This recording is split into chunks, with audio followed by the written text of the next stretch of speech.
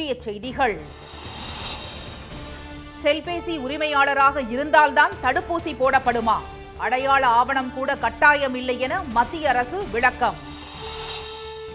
உயிரிழந்த விவசாயி குடும்பத்துக்கு அரசு பத்து லட்சம் ரூபாய் நிவாரணம். காவலர்களின் தாக்குதலை தடுக்க தலைவர்கள் வேண்டுகோள். தமிழகத்தில் தொடர்ந்து குறையும் கொரோனா தொற்று. டெல்டா பிளஸ் வைரஸால் சென்னை செவிலியர் பாதிப்பு. நீட் வந்ததற்கு முழு காரணம் எடப்பாடி அரசுதான் என அவையில் குற்றச்சாட்டு. மௌனியாக இருந்தது குறித்து விவாதிக்க தயார் என அமைச்சர் அறிவிப்பு. பல மாவட்டங்களில் பரவலாக பெய்த மழையால் மக்கள் மகிழ்ச்சி. தென் தமிழகத்தில் இடி மின்னலுடன் இன்றும் தொடர வாய்ப்பு. வணக்கம். வணக்கம். கொரோனா தடுப்பூசி போட்டுக்கொள்ள செல்பேசி வைத்திருக்க வேண்டும் என்பதோ அடையாள ஆவணங்களோ கட்டாயம் இல்லை என்று மத்திய அரசு தெரிவித்துள்ளது.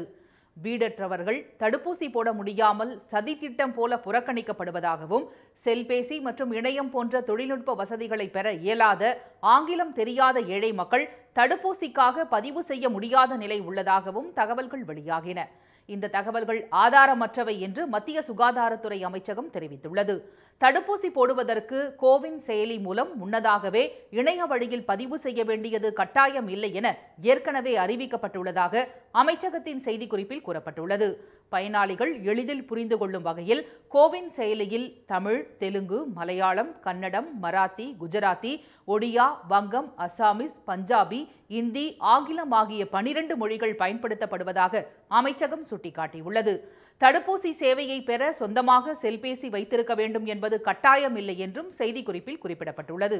ஆதார் வாக்காளர் அடையாள அட்டை புகைப்படத்துடன் கூடிய குடும்ப அட்டை மாற்றுத்திறனாளிகளுக்கான அடையாள அட்டை உள்ளிட்ட ஒன்பது அடையாளச் சான்றுகளில் ஒன்றை தடுப்பூசி செலுத்திக் கொள்பவர்கள் கொண்டு வர வேண்டும் என்று தெரிவிக்கப்பட்டிருந்தாலும் இவற்றில் எதுவுமே இல்லாதவர்கள் மற்றும் செல்பேசி வைத்துக் கொள்ளாதவர்களுக்கு தடுப்பூசி முகாம்களில் சிறப்பு ஏற்பாடுகள் செய்யப்படுவதாகவும் சுகாதாரத்துறை அமைச்சகம் விளக்கமளித்துள்ளது சேலம் மாவட்டம் வாழப்பாடி அருகே போலீசார் தாக்கியதில் உயிரிழந்த விவசாயி முருகேசனின் குடும்பத்துக்கு பத்து லட்சம் ரூபாய் நிவாரணம் வழங்க முதலமைச்சர் திரு மு க ஸ்டாலின் உத்தரவிட்டுள்ளார். மலையாளப்பட்டி அருகே வாகன தணிக்கையின் போது சிறப்பு காவல் உதவி ஆய்வாளர் பெரியசாமி தாக்கியதில் காயமடைந்த இடையப்பட்டியைச் சேர்ந்த முருகேசன் சிகிச்சை பலனின்றி சேலம் அரசு மருத்துவமனையில் நேற்று உயிரிழந்தார். விவசாயி தாக்கப்பட்ட காட்சி இணையத்தில் பரவி அதிர்வலைகளை ஏற்படுத்தியது. இந்நிலையில் முருகேசன் உயிரிழப்புக்கு இரங்கல் தெரிவித்துள்ள முதலமைச்சர் திரு ஸ்டாலின் அவரது குடும்பத்திற்கு பத்து லட்சம் ரூபாய் நிவாரணம் வழங்க உத்தரவிட்டுள்ளதாக அரசு செய்திக்குறிப்பில் தெரிவிக்கப்பட்டுள்ளது. மேலும் இந்த சம்பவத்திற்கு காரணமான ஏத்தாப்பூர் சிறப்பு காவல் உதவி ஆய்வாளர் பெரியசாமி பணியிடை நீக்கம் செய்யப்பட்டதோடு அவர் மீது குற்றவியல் வழக்கு பதிவு செய்யப்பட்டு சிறையில் அடைக்கப்பட்டுள்ளார். முருகேசன் உயிரிழப்பு தொடர்பாக நான்கு வாரங்களில் பதிலளிக்க வேண்டும் என சேலம் சரக டிஐஜிக்கு மாநில மனித உரிமைகள் ஆணையம் நோட்டீஸ் அனுப்பியுள்ளது. இந்த தாக்குதல் சம்பவத்திற்கு கண்டனம் தெரிவித்துள்ள தேமுதிக தலைவர் திரு. விஜயகாந்த் காவலர்கள் தாக்கி உயிரிழக்கும் சம்பவம் இதுவே இறுதியாக இருக்க வேண்டும் என்று தெரிவித்துள்ளார். இது போன்ற காட்டு மிராண்டித்தனமான செயல்களை அனுமதிக்க கூடாது என்று கூறியுள்ள பாமக நிறுவனர் டாக்டர் ராமதாஸ் உயிரிழந்த முருகேசன் குடும்பத்துக்கு ஒரு கோடி ரூபாய் இழப்பீடும் குடும்பத்தில் ஒருவருக்கு அரசு வேலையும் வழங்க வேண்டும் என்று கேட்டுக்கொண்டுள்ளார் சட்டம் ஒழுங்கை காக்கும் போர்வையில் நடைபெறும் இது போன்ற மனிதாபிமானமற்ற செயல்களை தடுத்து நிறுத்த உறுதியான நடவடிக்கை எடுக்க வேண்டும் என்று எஸ்டிபிஐ கட்சி வலியுறுத்தியுள்ளது. தமிழ்நாட்டில் கொரோனா தொற்று தொடர்ந்து குறைந்து வரும் நிலையில் டெல்டா பிளஸ் வைரஸ் தொற்றால் ஒருவர் பாதிக்கப்பட்டுள்ளது உறுதி செய்யப்பட்டுள்ளது. சுகாதாரத்துறை வெளியிட்ட செய்திக்குறிப்பில் நேற்று ஒரே நாளில் ஒரு லட்சத்து எழுபதாயிரத்து நூற்று ஐந்து பேருக்கு பரிசோதனை செய்ததில் ஆறாயிரத்து ஐநூற்று தொன்னூற்று ஆறு பேருக்கு தொற்று உறுதி செய்யப்பட்டுள்ளதாக தெரிவிக்கப்பட்டுள்ளது. அரசு மருத்துவமனைகளில் நூற்று ஒன்பது பேர் தனியார் மருத்துவமனைகளில் ஐம்பத்தி ஏழு பேர் என நூற்று அறுபத்தி ஆறு பேர் நேற்று உயிரிழந்துள்ளனர். தமிழ்நாட்டில் இதுவரை இருபத்தி நான்கு லட்சத்து நாற்பத்தி மூன்றாயிரத்து நானூற்று பதினைந்து பேர் பாதிக்கப்பட்டு முப்பத்தி ஓராயிரத்து எழுநூற்று நாற்பத்தி ஆறு பேர் உயிரிழந்துள்ளனர். நேற்று ஒரே நாளில் பத்தாயிரத்து நானூற்று முப்பத்தி இரண்டு பேர் குணமடைந்துள்ளனர். இதையடுத்து கொரோனாவிலிருந்து குணமடைந்தவர்களின் எண்ணிக்கை இருபத்தி மூன்று லட்சத்து ஐம்பத்தி எட்டாயிரத்து எழுநூற்று எண்பத்தி ஐந்தாக அதிகரித்துள்ளது. மருத்துவமனைகளில் சிகிச்சை பெறுவோர் எண்ணிக்கை ஐம்பத்தி இரண்டாயிரத்து எண்ணூற்று எண்பத்தி நான்காக குறைந்துள்ளது. மாவட்டங்களில் கோவையில் அதிகபட்சமாக எழுநூற்று தொன்னூற்று மூன்று பேருக்கும் ஈரோட்டில் அறுநூற்று எண்பத்தி ஆறு பேருக்கும் தொற்று உறுதி செய்யப்பட்டுள்ளது. சென்னை செங்கல்பட்டு கடலூர் தருமபுரி கள்ளக்குறிச்சி கன்னியாகுமரி கிருஷ்ணகிரி மதுரை நாகை நாமக்கல் நீலகிரி ராணிப்பேட்டை சேலம் தஞ்சை திருவள்ளூர் திருவண்ணாமலை திருப்பூர் திருச்சி ஆகிய பதினெட்டு மாவட்டங்களில் தொற்று எண்ணிக்கை ஐநூறுக்கும் கீழாக குறைந்துள்ளது. அரியலூர் திண்டுக்கல் காஞ்சிபுரம் கரூர் பெரம்பலூர் புதுக்கோட்டை ராமநாதபுரம் சிவகங்கை தென்காசி தேனி திருப்பத்தூர் திருவாரூர் தூத்துக்குடி திருநெல்வேலி வேலூர் விழுப்புரம் விருதுநகர் ஆகிய பதினேழு மாவட்டங்களில் தொற்று எண்ணிக்கை நூறுக்கும் கீழே சரிந்துள்ளது. இதனிடையே தமிழ்நாட்டில் டெல்டா பிளஸ் கொரோனா வைரஸால் ஒருவர் பாதிக்கப்பட்டுள்ளது உறுதி செய்யப்பட்டுள்ளதாக சுகாதாரத்துறை செயலாளர் திரு. ராதாகிருஷ்ணன் தெரிவித்துள்ளார். ஏஒய் டாட் ஒன் என்று அழைக்கப்படும் இந்த உருமாறிய வேகமாக பரவக்கூடிய வைரஸ் தொற்றால் பாதிக்கப்பட்டவருக்கு அளிக்கப்படும் சிகிச்சைக்கு எதிராக செயல்படக்கூடியது. ஆயிரத்துக்கும் மேற்பட்டோரின் சளி மாதிரிகளை பரிசோதனை செய்ததில் சென்னையைச் சேர்ந்த செவிலியர் ஒருவர் இந்த வகை வைரஸால் பாதிக்கப்பட்டிருப்பது உறுதி செய்யப்பட்டுள்ளது.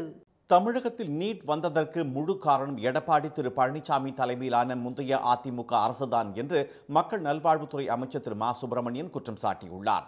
சட்டப்பேரவையில் ஆளுநர் உரைக்கு நன்றி தெரிவிக்கும் தீர்மானத்தின் மீதான விவாதத்தில் பேசிய எதிர்க்கட்சித் தலைவர் திரு பழனிசாமி கடந்த ஆண்டு கொரோனா கையாளப்பட்ட விதம் பற்றி குறிப்பிட்டார். அதற்கு பதிலளித்து பேசிய திரு மா சுப்பிரமணியன் அதிமுக ஆட்சியில் கடந்த ஆண்டு நாளொன்றுக்கு எண்பத்தைந்தாயிரம் கொரோனா பரிசோதனைகள் மட்டுமே செய்யப்பட்டதாகவும் ஆனால் தற்போது ஒரு லட்சத்து எழுபதாயிரத்திற்கும் அதிகமாக பரிசோதனைகள் செய்யப்படுவதாகவும் கூறினார். தமிழ்நாட்டில் கொரோனா வரவே வராது மாஸ்க் அணிய தேவையில்லை எண்பது வயதுக்கு மேற்பட்டவர்களுக்குத்தான் கொரோனா வரும் ஒரு இறப்பு கூட வராது என்று முதலமைச்சராக இருந்தபோது சட்டப்பேரவையில் திரு பழனிசாமி பேசியதாக அவர் சுட்டிக்காட்டினார். கொரோனாவை தடுப்பதில் தற்போதைய அரசு சிறப்பாக செயல்பட்டு வருவதாக பிரதமர் திரு மோடி பாராட்டியதாக திரு சுப்பிரமணியன் கூறினார். அண்மையில் பாரத பிரதமர் உள்துறை அமைச்சர் ஆகிய இருவரும் சேர்ந்து நடத்திய ஒரு கூட்டம். மாண்புமிகு தமிழக முதல்வர் அவர்கள் பங்கேற்ற அந்த கூட்டத்தில் சென்னையில் நடவடிக்கை எடுக்கப்படுகிற அந்த நிகழ்வுகள் குறித்து விளக்கப்பட்ட போது மாண்புமிகு பாரத பிரதமர் அவர்கள் நம்முடைய தமிழக முதல்வர் அவர்களை பார்த்து சொன்னது சென்னையில் எடுக்கிற நடவடிக்கைகளைப் போலவே இந்தியா முழுவதிலும் எடுக்க வேண்டும். அதற்கு தமிழகம் ஒரு முன்மாதிரியாக இருந்து கொண்டிருக்கிறது என்கின்ற அந்த செய்தியையும் எடுத்துச் சொல்லியிருக்கிறார்கள். தமிழ்நாடு முழுவதும் கடந்த ஆட்சியில் திறந்து வைக்கப்பட்டதாக சொல்லப்பட்ட இரண்டாயிரம் மினி கிளினிக்குகளில் ஏதாவது பத்து கிளினிக்குகளை எதிர்க்கட்சித் தலைவர் நேரில் சென்று பார்த்திருந்தால் அதன் உண்மை நிலை தெரிய வந்திருக்கும் என்று திரு சுப்பிரமணியன் தெரிவித்தார். நீட் தேர்வை எதிர்த்து சட்டப்பேரவையில் நிறைவேற்றப்பட்ட தீர்மானத்திற்கு குடியரசுத் தலைவர் ஒப்புதல் அளிக்காததும் உள்துறை அமைச்சகம் திருப்பி அனுப்பியதும் நான்கு ஆண்டுகளில் எப்போதாவது அவையில் பதிவு செய்யப்பட்டுள்ளதா என்று எதிர்க்கட்சித் தலைவரை நோக்கி அவர் கேள்வி எழுப்பினார். திமுக ஆட்சியில் இருக்கிற வரை நீட்டு தமிழகத்திற்கு வரவே இல்லை. முன்னாள் முதலமைச்சர் மறைந்த அம்மையார் இருக்கிற வரை கூட நீட் என்பது தமிழகத்தில் வரவே இல்லை. இந்த மூன்று ஆண்டுகளில் நடைபெற்று கொண்டிருக்கிற நீட்டு தேர்வுக்கு முழு காரணம் எதிர்க்கட்சி தலைவராக இருக்கிற இவர் தலைமையிலான அந்த ஆட்சி நிர்வாகத்தில் தான் என்பது ஊரறிந்த விஷயம். எந்தெந்த தேதிகளில் ஆவணங்கள் அனுப்பப்பட்டன அதற்கு மத்திய அரசு எந்த வகையான பதிலை சொல்லி இருக்கிறது அதற்கு முந்தைய அரசு எப்படி மௌனியாக இருந்தது என்பது குறித்து பட்ஜெட் கூட்டத்தொடரின் போது விவாதிக்க தயாராக உள்ளதாக திரு. மா. சுப்பிரமணியன் தெரிவித்தார். தமிழகத்தின் பல மாவட்டங்களில் பரவலாக மழை பெய்துள்ளது. வெப்பச்சலனத்தால் பல இடங்களில் நேற்று மழைக்கு வாய்ப்பிருப்பதாக சென்னை வானிலை மையம் தெரிவித்திருந்த நிலையில் மயிலாடுதுறை மாவட்டத்தில் குத்தாலம் செம்பனார்கோவில் உள்ளிட்ட இடங்களில் மழை பெய்தது. பாலையூரில் ஆலங்கட்டி மழை பெய்தது.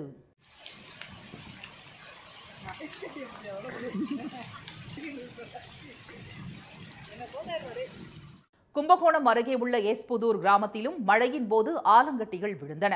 அவற்றை அப்பகுதியினர் ஆச்சரியத்துடன் எடுத்து பார்த்து மகிழ்ந்தனர். கரூர் மாவட்டத்தில் வெயில் சுட்டரித்து வந்த நிலையில் தோகை மலை கொசூர் இடையப்பட்டி மற்றும் சுற்றுவட்டார பகுதிகளில் பரவலாக ஒரு மணி நேரம் நல்ல மழை பெய்தது. இதனால் சாலைகளில் தண்ணீர் பெருக்கெடுத்து ஓடியது. திண்டுக்கல் மாவட்டம் வத்தலகுண்டு பகுதியில் மாலையில் அரை மணி நேரம் மழை பெய்தது. விவசாய பணிகள் தொடங்கப்பட்டுள்ள நிலையில் இந்த மழையால் விவசாயிகள் மகிழ்ச்சி அடைந்தனர் நத்தம் மற்றும் கோவில்பட்டி வேலம்பட்டி உள்ளிட்ட சுற்றுவட்டார பகுதிகளில் அரை மணி நேரம் மிதமான மழை பெய்ததால் வெப்பம் தணிந்தது. புதுக்கோட்டை மாவட்டம் கந்தர்வக்கோட்டை ஆதனக்கோட்டை சோத்துப்பளை உள்ளிட்ட பகுதிகளில் சூறாவளி காற்றுடன் பலத்த மழை பெய்தது. விராலிமலையில் மாலை வீசிய குளிர்காற்றை தொடர்ந்து இடி மின்னலுடன் ஒரு மணி நேரம் கோடை மழை ஆரவாரமின்றி பெய்தது. மதுரை மாவட்டம் வாடிப்பட்டி மற்றும் சோழவந்தான் சமயநல்லூர் பறவை உள்ளிட்ட பகுதிகளில் பலத்த காற்றுடன் கனமழை பெய்தது. வெயிலின் தாக்கம் தணிந்ததால் பொதுமக்களும் சாகுபடிக்கு ஏதுவாக மழை பெய்ததால் விவசாயிகளும் மகிழ்ச்சியடைந்தனர். மதுரை விமான நிலையம் திருப்பரங்குன்றம் தனக்கன்குளம் திருநகர் அவனியாபுரம் சிந்தாமணி பகுதிகளில் காற்றுடன் அரை மணி நேரம் மழை பெய்தது.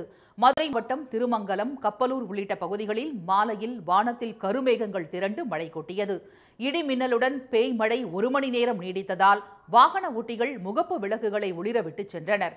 மதுரை மாநகரின் மையப்பகுதியில் இரவிலும் மழை நீடித்தது.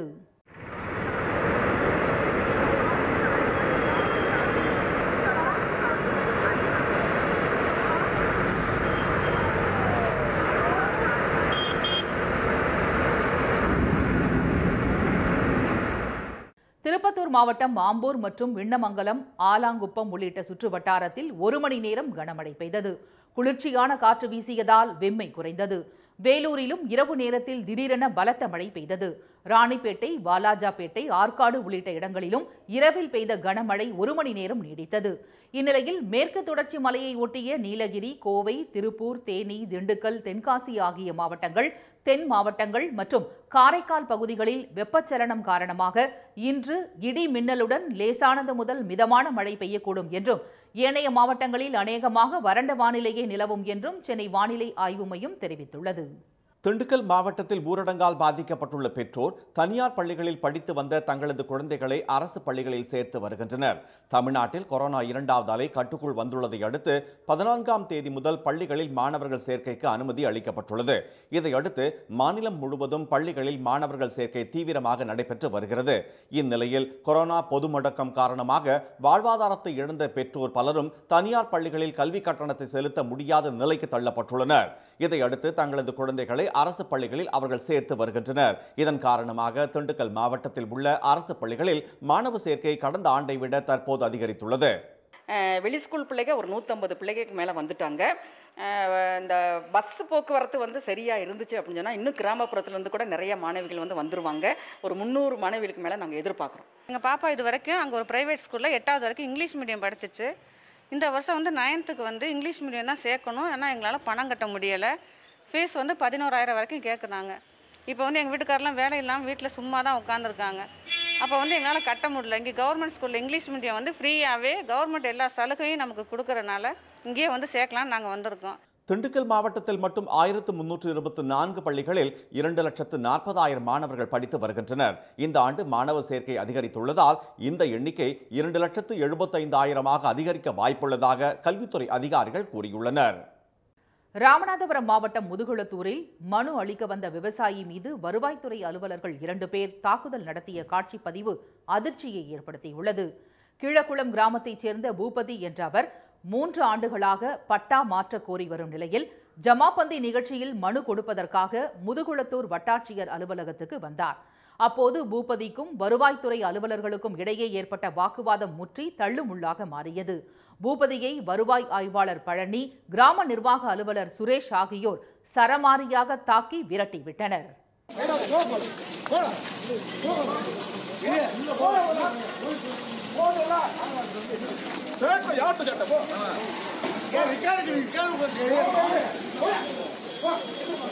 ஏய் தள்ளுடா தள்ளு டேய் தள்ளு.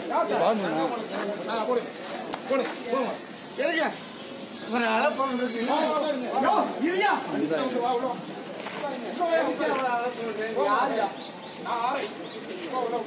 நீ அரைங்க பரபரப்பை ஏற்படுத்திய இந்த சம்பவம் குறித்து விவசாயி பூபதி முதுகுளத்தூர் காவல் நிலையத்தில் புகார் அளித்ததை அடுத்து காவல்துறையினர் விசாரித்து வருகின்றனர்.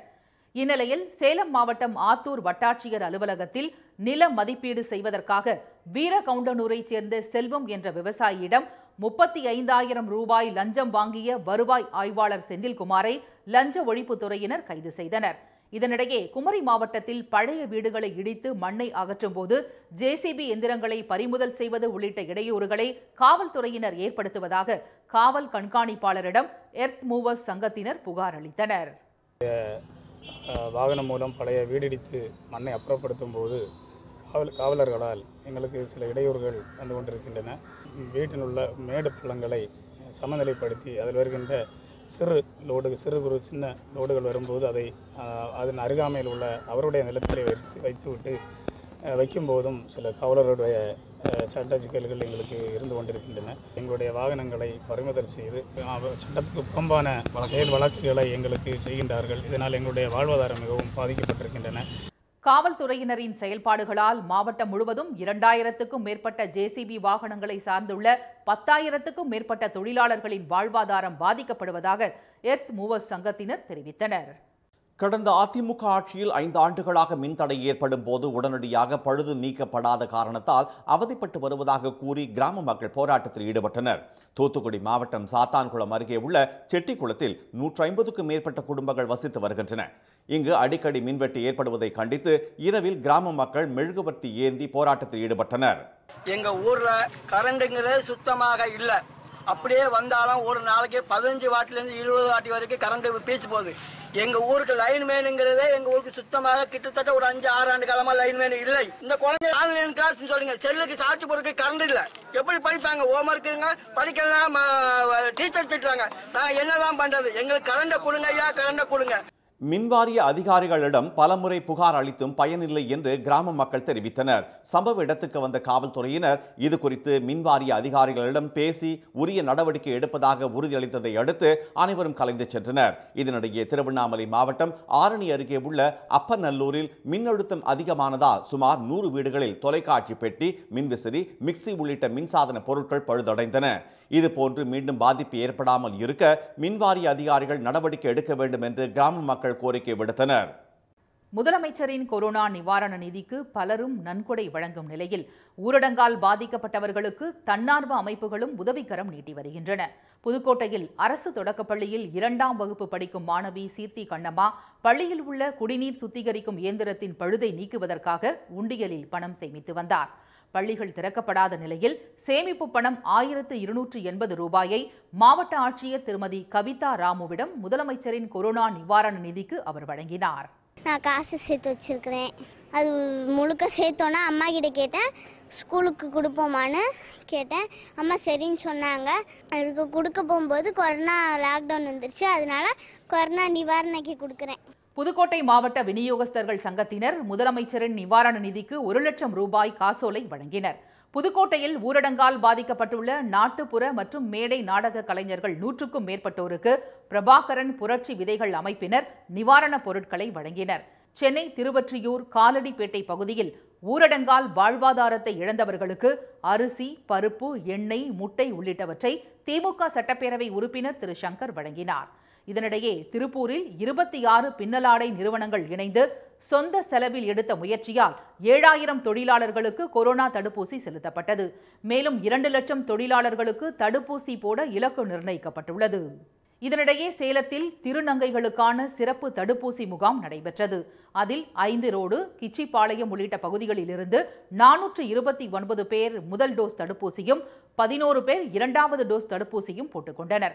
இந்நிலையில் தமிழ்நாடு முழுவதும் இரண்டு மாதங்களாக நகை கடைகள் மூடப்பட்டுள்ளதால் பாதிக்கப்பட்டுள்ள பொற்கொல்லர்கள் மற்றும் பட்டறை உரிமையாளர்களை தொழில் செய்ய அனுமதிக்க வேண்டும் என்று மதுரை பொற்கொல்லர்கள் சங்கத்தினர் கேட்டுக்கொண்டுள்ளனர். தஞ்சை பெரிய கோயிலில் திருக்கல்யாண உற்சவம் எளிய முறையில் நடைபெற்றது. இந்த திருத்தலத்தில் ஆண்டுதோறும் ஆனி மாதம் திருக்கல்யாணம் சிறப்பாக நடைபெறும். கொரோனா தடுப்பு நடவடிக்கையாக பெரிய கோயில் மூடப்பட்டுள்ளதால் பக்தர்கள் இன்றி சிவாச்சாரியார்கள் மட்டும் பங்கேற்க பெருவுடையாருக்கும் பெரிய நாயகி அம்மனுக்கும் பட்டாடை அணிவித்து மாலை மாற்றி ஊஞ்சல் உற்சவத்துடன் மாங்கல்ய வைபோகம் விமர்சையாக நடைபெற்றது.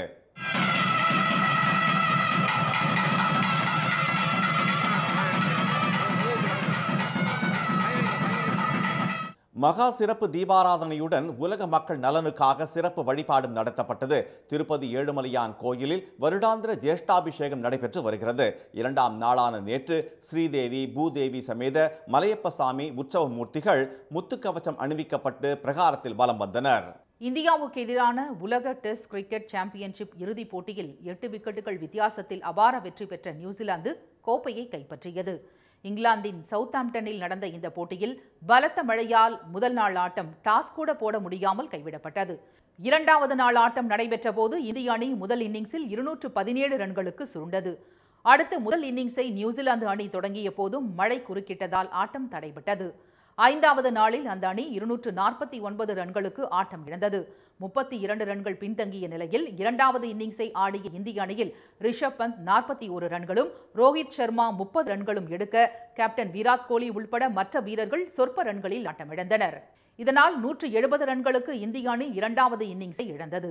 நியூசிலாந்து அணியில் சிறப்பாக பந்து வீசிய டிம் சவுத்தி நான்கு விக்கெட்டுகளை வீழ்த்தினார். நூற்று முப்பத்தி ஒன்பது ரன்கள் என்ற வெற்றி இலக்கை நோக்கி அடுத்து ஆடிய நியூசிலாந்து அணியின் தொடக்க ஆட்டக்காரர்கள் லதாம் கான்வேவ் விக்கெட்டுகளை அஸ்வின் வீழ்த்தினார்.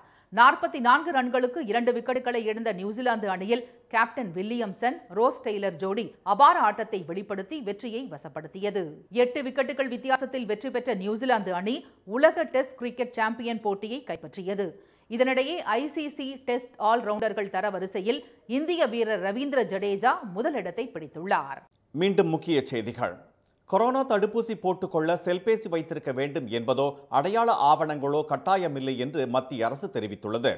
தமிழ்நாட்டில் கொரோனா தொற்று தொடர்ந்து குறைந்து வரும் நிலையில் டெல்டா பிளஸ் வைரஸ் தொற்றால் ஒருவர் பாதிக்கப்பட்டுள்ளது உறுதி செய்யப்பட்டுள்ளது. தமிழகத்தில் நீட் வந்ததற்கு முழு காரணம் எடப்பாடி பழனிசாமி தலைமையிலான முந்தைய அதிமுக அரசுதான் என்று அமைச்சர் சுப்பிரமணியன் குற்றம் சாட்டியுள்ளார். இத்துடன் இந்த செய்திகள் நிறைவடைகின்றன. மீண்டும் சன் டிவியில் செய்திகள் மாலை ஆறு மணிக்கு. செய்திகளை உடனுக்குடன் தெரிந்து கொள்ள சன் நியூஸ் தொலைக்காட்சியை பாருங்கள். வணக்கம். வணக்கம்.